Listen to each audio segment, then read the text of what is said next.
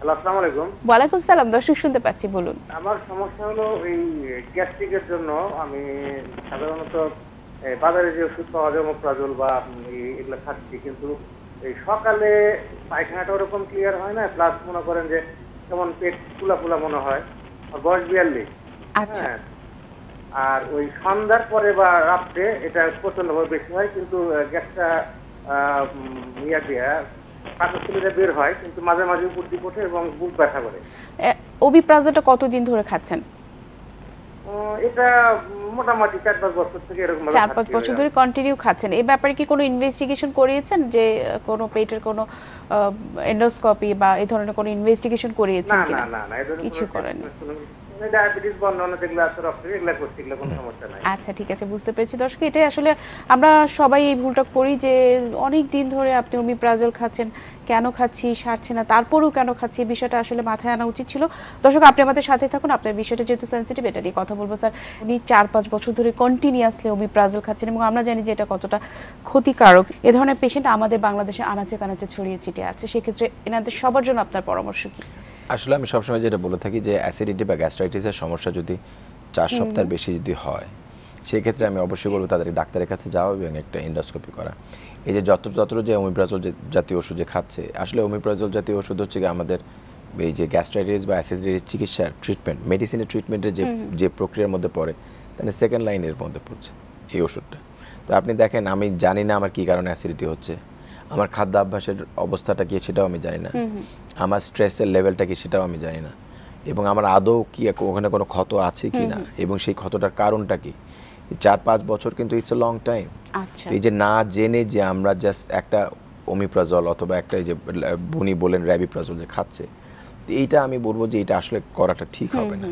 At best আমরা যেটা করতে পারি যে ধরেন আমাদের অনেক অ্যাসিডিটি কিন্তু এত কমন অথবা এটা যে কোনো ধরনের হেভি মিল অথবা ফ্যাটি মিল যে কোনো অনুষ্ঠানে খেলে হতে পারে। খুব খুব অয়েলি বা খুব সেই ক্ষেত্রে আমি যেটা বলব যে অ্যান্টাসিড। জাতীয় সিরাপ যদি খায় I think that should be enough আচ্ছা। যাদের এইসব ইন্ডিজেশন যেগুলো হয় তাদেরকে আমরা যদি আপনার এই অ্যান্টাসিডের মাধ্যমে কিন্তু তাদেরকে মধ্যে এই সমস্যা কিন্তু সমাধান দিতে পারি। কিন্তু লং স্ট্যান্ডিং যাদের সমস্যা এবং যারা লং স্ট্যান্ডিং ভাবে খাচ্ছে তাদেরকে আমি ডেফিনেটলি বলব যে এটা আসলে খাওয়াটা ঠিক হবে না। কারণ একটা অ্যাসিডিটি বা গ্যাস্ট্রাইটিসের আমরা কেন ভয় পাই অথবা কেন আমরা স্ক্রিনিং প্রোগ্রামগুলোতে যাই? আচ্ছা।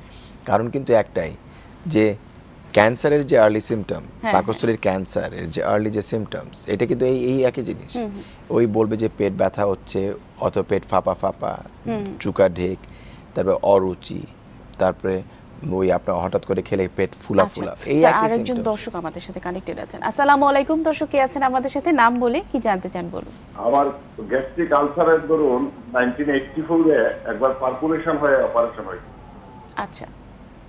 এরপরে এটা আমি দীর্ঘদিন হাসপাতালে থাকার পরে এটা ঠিক হয় রিপেয়ার করা হয়। কিন্তু এরপর থেকে গ্যাস্ট্রোলজির দেশি বিদেশি অনেক ডাক্তার আমি দেখি আপনারা যেটা বলতেছেন অমিপ্রাজল বা ইসমিপ্রাজল দীর্ঘদিন খাওয়া খুব ক্ষতিকর আমি তো বিশ পঁচিশ বছর থেকে খাচ্ছি কিন্তু এখনও আমার গ্যাস্ট্রিক ওই যে প্রচণ্ড গ্যাস হয় পেট ব্যথাটা কিছু নাই কিন্তু প্রচণ্ড গ্যাস হয় এবং সকাল বিকাল দুইবার ইসমিপ্রাজল খেতে হয় আচ্ছা। মানে যেটা পার্মানেন্ট কোনো প্রতিকার আছে। আচ্ছা দর্শক খুব সুন্দর একটা প্রশ্ন করার জন্য অনেক ধন্যবাদ আপনাকে।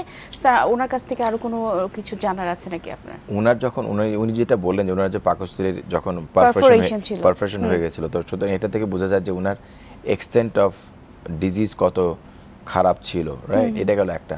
আর এইটি ফোরে এইটি ফোর এইটি ফাইভে কমন প্র্যাকটিস ছিল যে পারফরেশন যখন আমরা রিপেয়ার যখন করতাম আমরা ট্রাঙ্কাল ভেগটমি মানে ওই ওই পাকস্থলীর একটা পোর্শনে নার্ভ সাপ্লাইটা আমরা কেটে দিতাম।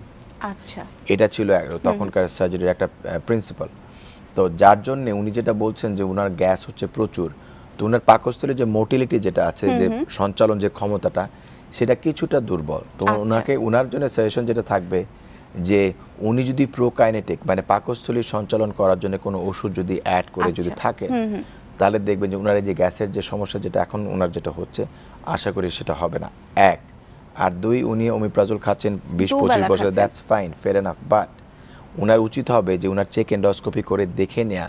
ওনার যেখানে ক্ষতটা ছিল সেই ক্ষতটার কী অবস্থা? ওয়ান এইচ পাইলোরি ব্যাকটেরিয়া আছে কি না টু আর নাম্বার থ্রি হচ্ছে গিয়ে ওই রিপিটেড সিক্স মান্থস পরপর একটা এন্ডোস্কোপি করে নেওয়া যদি উনি যদি পারেন at least for one two two years তারপর থেকে এক বছর পরপর পর একটু করে নেওয়া উচিত হবে। আচ্ছা। আর ওনার ডায়াবেটিস অথবা প্রেশার অথবা স্মোকিংয়ের কোনো অভ্যাস যদি থাকে ডায়াবেটিস থাকলে ওনার এই গ্যাসের প্রবণতা বাড়তে পারে। স্মোকিং যদি করেন কোনো ওষুধ ওনার কাজ করবে না। সুতরাং এই দুইটা জিনিসই ওনাকে সিসেশন করতে হবে।